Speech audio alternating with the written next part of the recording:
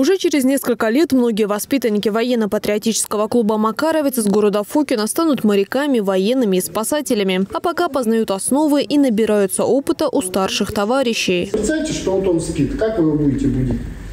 Мы возьмем аккуратно за плечи, скажем, парень, парень, очнись, парень. То есть не надо его трясти так, что скажем так, затылок бился об асфальт. Макаровцы детского дома творчества пришли в гости к сотрудникам городского ГОИЧС. Здесь о самых разных чрезвычайных ситуациях знают не понаслышке. Спасатели объясняют, в случае ЧС многое зависит от слаженности действий и соблюдения правил безопасности. Для ребят такие встречи – возможность получить жизненно важную информацию из первых уст. Грамотные действия помогут, будь то землетрясение или даже цунами. То есть тех угроз, которые могут возникнуть на территории нашего городского округа.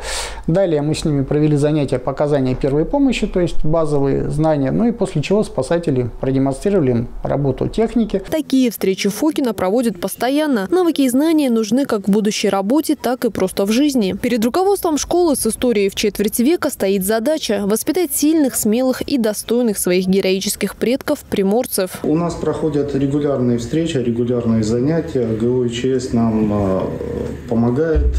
Дети учат тактическую медицину медицину, оказание первой медицинской помощи, э, правила поведения в лесу. И не только теория. Ребятам дали возможность почувствовать себя настоящими спасателями. Практическая часть занятия многим понравилась особенно, ведь здесь можно было изучить спецоборудование, примерить форму спасателей и даже поработать с техникой. Сегодня очень интересно было. Я узнал новое, как спасаться, когда цунами и когда землетрясение.